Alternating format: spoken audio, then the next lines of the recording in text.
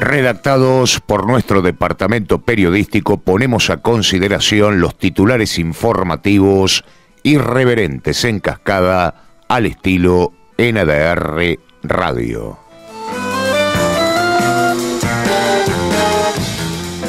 ¿En qué quedamos?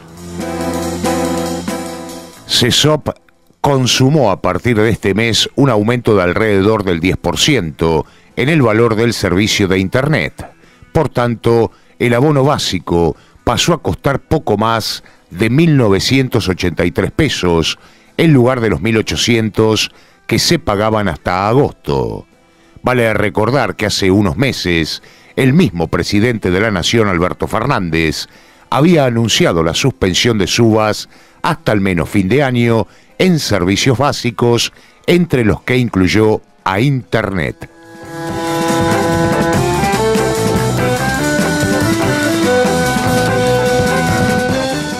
Zona fría, usuarios calientes.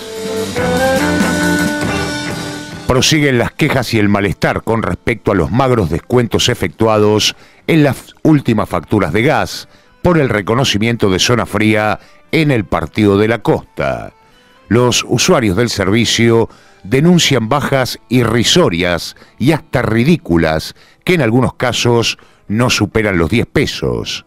Según el gobierno, a partir del próximo vencimiento se verificará en su totalidad el beneficio de la iniciativa, algo que viene postergando mes a mes desde que las cámaras alta y baja reglamentaron su implementación.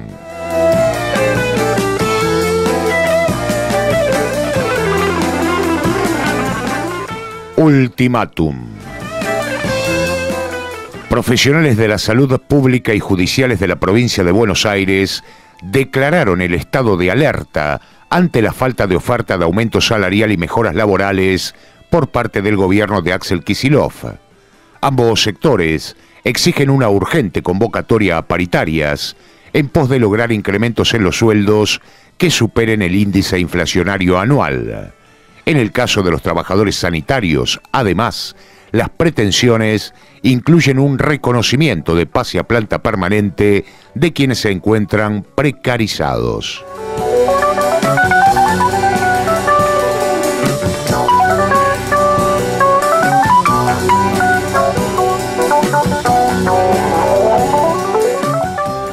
Más información sobre estos y otros títulos ingresando a www.ndrradio.com.ar.